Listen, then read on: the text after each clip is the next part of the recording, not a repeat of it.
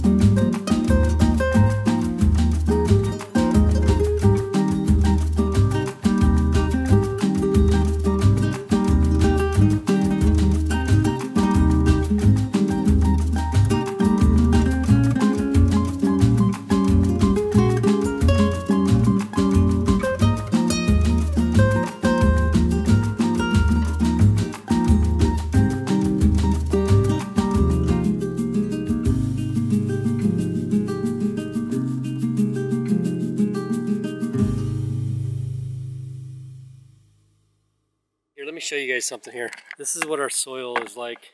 This is what we get when it starts drying out. Pretty, pretty ugly soil. We have that everywhere. But generally, we don't have a hard time growing stuff. I mean, look at that. People that think that we get nothing but rain.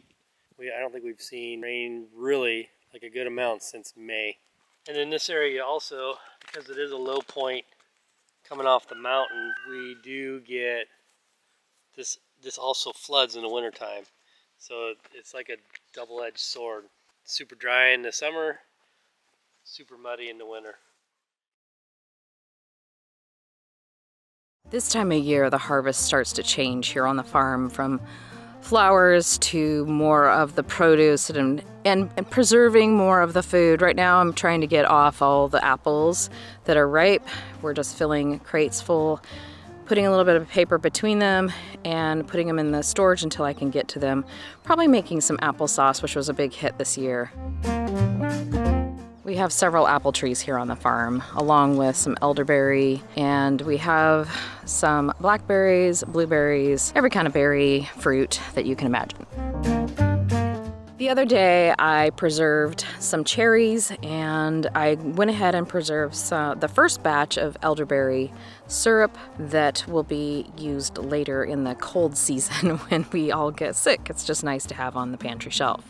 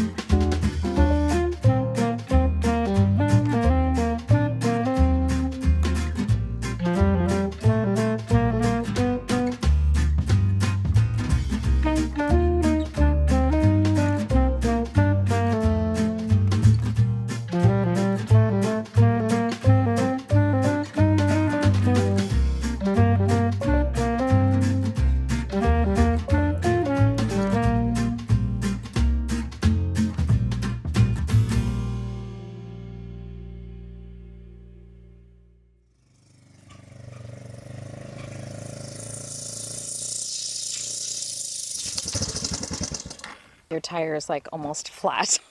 so heavy. Today is day three on the project, and Braden is working on this little Mediterranean garden, which is just this little strip between the terracotta here and there's a olive tree planted and then it goes all the way over to here which we have another olive tree. And we're just putting down some rock to create a little bit of a retaining wall. It's got a little bit of a slope. And then we're having the soil tomorrow morning. The truck is going to be here and brought in fresh soil um, going down as well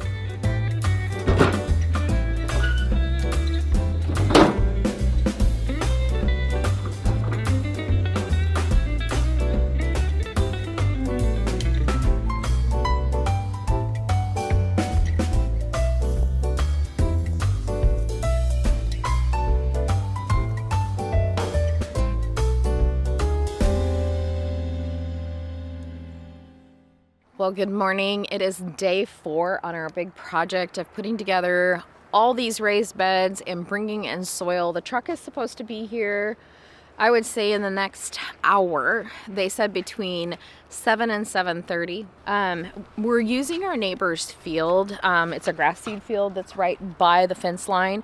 And they're gonna actually blow the soil into each of the raised beds. So we lined the beds with uh, landscape fabric. It was old landscape fabric that we were gonna have to recycle anyways. It had the holes in it that were pre-drilled for all of the, um, pre-drilled for all of like the plants to come through. Um, and then we layered in cardboard. So the reason I just, I was going to recycle or take the landscape fabric. It was kind of falling apart, frayed. So I decided to go ahead and just use it as a barrier because it's a lot of it was still really good. We just don't use a lot of landscape fabric. So this will just help cut down on weeds because this has been a field uh, with a lot of weeds in it. Um, it's been, and you know, as you know, we had a, a tarp over it for a long time and then this is the process we're doing. So in between each one of these rows, we are planning to do a little bit of like the playground uh, mulch, bark mulch. That works really, really well keeping down the weeds and then a nice pathway between. So less work for me. Anyways, the truck is here and so we're gonna get started. I have one um, little section that Braden started working on. I'm gonna move a few rocks, which is the dry garden. In case we have leftover soil, we're gonna put it here um, in this little dry garden thing that I am making. So I'm gonna give you a quick little look before and after.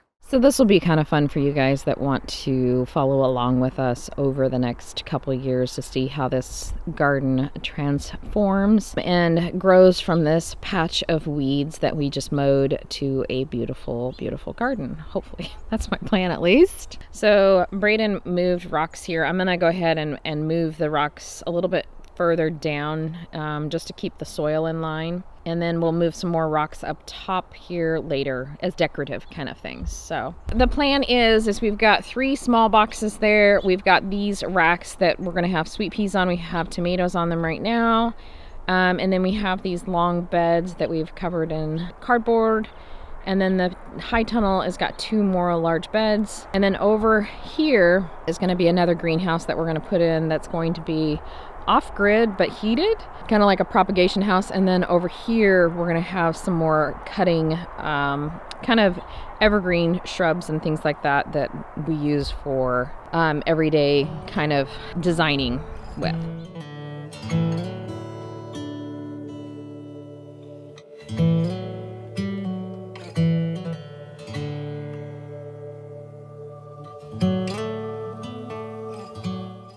We have six raised beds total that got filled plus the dry garden. Uh, we put some soil in there, which will make it easier for me to plant into. We have a pretty heavy clay here and we always have to amend it quite heavily um, with compost and such um, to be able to plant into it, especially back here in this section of the garden. It tends to get pretty wet. We have puddles that form and in the summertime it just becomes so dry and cracked and literally like rock. So we're putting in the raised beds just to make life a little bit easier for me to garden and also to grow beautiful, beautiful flowers. Um, I think it's coming along well, and this has taken us years and years to be able to inch our way back. I think we started gardening here probably a little over 10 years ago, and we have slowly started to build up the infrastructure and being able to do um, a project like this, which was kind of expensive um, to do. But every year we choose one thing to do. Last year was the greenhouse that we put in, or the two greenhouses we put in. We put in the cottage greenhouse, and then we put in the low tunnel. When monies allow, we will start on the next project, which is going to be a propagation house.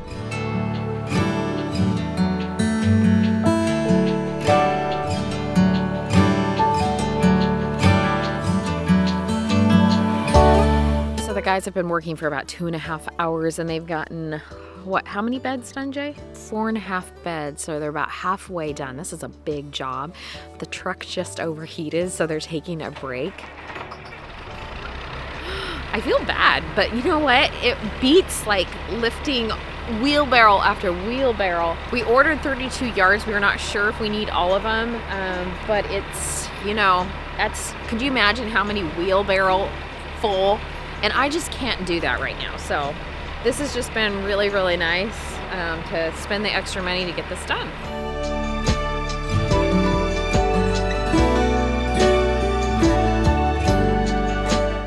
So it's been a couple more hours later. They're working pretty hard. They had a clog in the truck, and so it ended up, they had to unclog it, and now they're having to hand wheelbarrow and pick up a whole bunch of it um, into place before they can start blowing it again. I guess that's just the nature of things today. So I'm assuming it'll take a couple more hours or maybe an hour more. I'm not sure exactly how much longer they will have to go, but it's looking really, really good. Um, it's starting to get warm out and I'm glad we had this nice overcast day to get this done. But yeah, it's coming along really, really well. I've been going back and forth from the field to making bread. We've got dinner guests coming tonight. So we also have a ton of mixed bouquets going out today. We're making, I think, 125.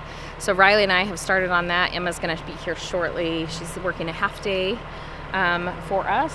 And yeah, that's just the way the day's going. It's just busy. It's just a busy, busy day.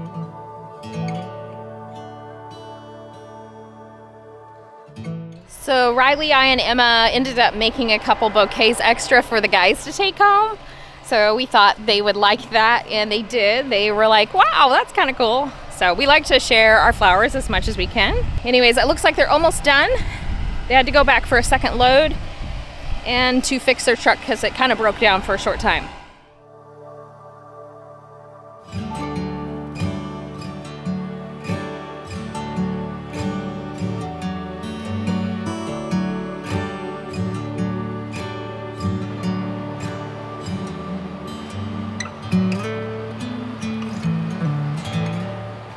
Well, and just like that, the job is done. It looks amazing. What would have taken me weeks and a very sore body took pretty much a good majority of the day. Jason's running over and grabbing what's left. He took the little four-wheeler and the, the trailer back there and he's gonna grab, there was some that, debris that kind of fell out of the truck, especially when they're having some issues um, with the truck breaking down. It kept spitting out a ton. So he's going over there to grab what's left and we're just gonna kind of fill in the garden a little bit more. But we got everything that I needed and I did end up having enough for my little Mediterranean dry garden that I'm putting in. So that will be really, really nice to have done. So here's a finished look at what we did.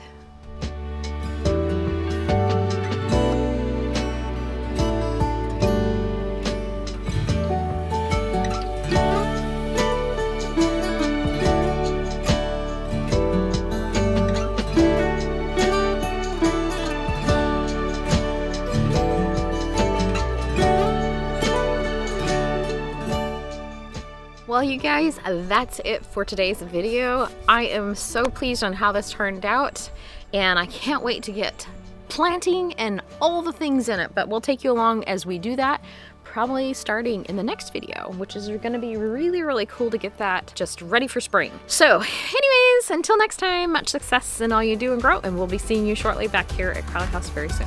Bye-bye.